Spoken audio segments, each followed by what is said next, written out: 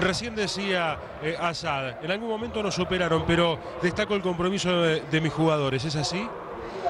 Sí, estamos en un momento difícil en el cual todo se hace cuesta arriba. Eh, cuando, cuando nos superan se nos complica eh, pararnos la cancha, pero bueno, con esfuerzo, con la ganas de todos, estamos, estamos haciendo un esfuerzo grande y esperemos, esperemos salir de este momento que, que a nadie le gusta.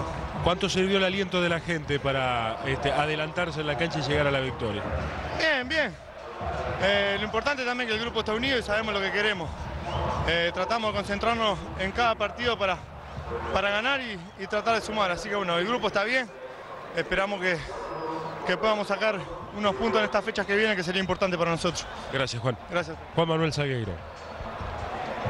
Y ahí está el gol, ¿no? El festejo del gol con mucha bronca de parte de Salgueiro.